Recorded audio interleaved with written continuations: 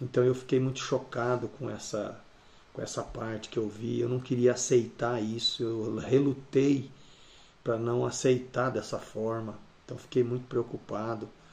E essa visão, essa revelação, ficou esse sonho ficou martelando na minha cabeça. E eu relutando com Deus, né, para não não aceitar essa dessa forma. E, os anos, e o ano se passou, quase um ano depois, então eu tive uma outra outro sonho, novamente dentro da congregação, é, eu estava no banco ali sentado e tinha um irmão atendendo o culto, um culto normal assim, de repente eu comecei a ouvir que o povo começou a gritar de dor, os irmãos, né? E eu olhei então ao redor de mim, tinha irmãos com cãibra, irmãos se contorcendo todos e gritando de dor. Virei para o lado das irmãs, a mesma coisa, as irmãs também, todas elas se contorcendo com muita dor e gritando de dor.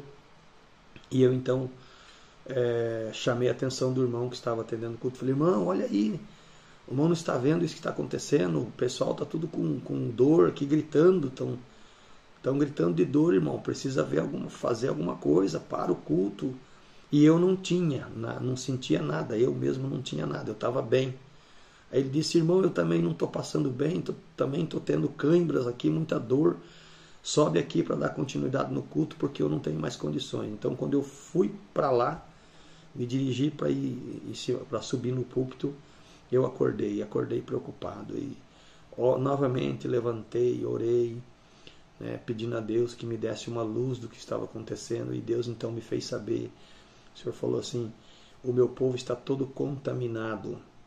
Isso que você viu é uma contaminação geral mas eu tenho os meus servos, as minhas servas que estão ali, eu vou tirar eles dali, eu vou arrancar eles dali, porque são meus, são minhas ovelhas. Então eu falei, Senhor, eu não estou entendendo, Senhor, por que essas coisas, Senhor, não estou conseguindo compreender. E aí passou-se mais um ano, mais ou menos, o Senhor me deu mais um sonho, mais uma, uma revelação.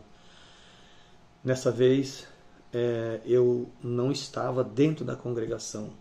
Eu estava numa rodovia dirigindo um carro, né? Só por mim entender.